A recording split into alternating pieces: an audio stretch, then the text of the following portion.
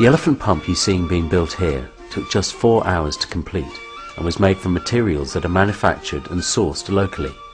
It was constructed by Pump Aid staff who worked together with local beneficiaries. The elephant pump is based on a principle that was first used in China over 2,000 years ago. There are small discs along the length of the rope that lift the water to the surface as the rope moves up inside the pipe. To draw water, you simply turn a wheel by hand or pedal power. The simplicity of the elephant pump means that the components can be manufactured at a nearby workshop. A team of local craftsmen make everything from the metal axle to the concrete housing.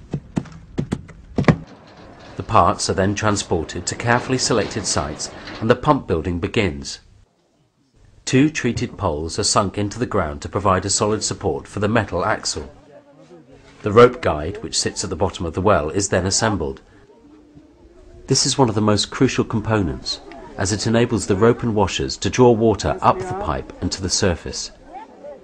Meanwhile, the spillway is built and the concrete housing is put into place.